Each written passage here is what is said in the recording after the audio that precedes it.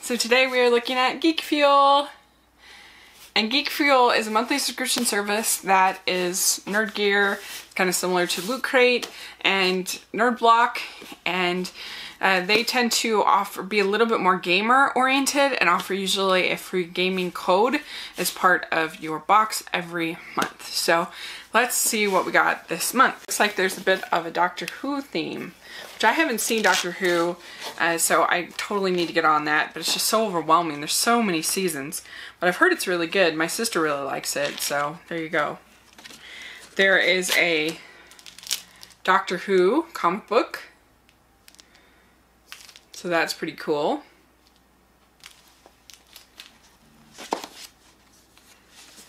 And there is a, this is the game code. $20 value, Fallen A2P Protocol. Oh, we get this really cool Funko Pop for Star Wars. It's a bobblehead. Of course, your Stormtrooper from the First Order Star Wars Force Awakens. That is pretty awesome. And this t-shirt is awesome. It's for Civil War. It's kind of like an old school boxing type poster, sort of, between Iron Man and Captain America. Got the Blue Bomber versus the Red Rocker in Iron Man versus Captain America. This is pretty fun. I like it. Smash 'em, crash 'em, the brawl to settle it all. And we have a set of coasters and they are Doctor Who coasters.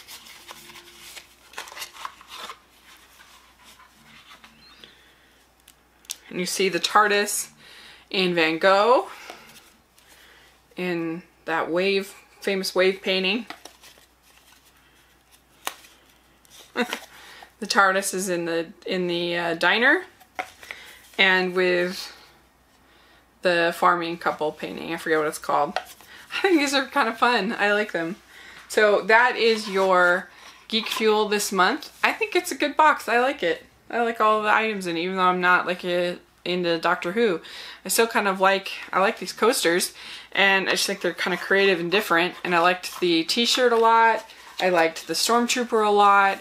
Uh, so overall, I think this is a win. I, it's a good good box. So let me know what you think of this box and what do you think of Doctor Who? Are you a fan?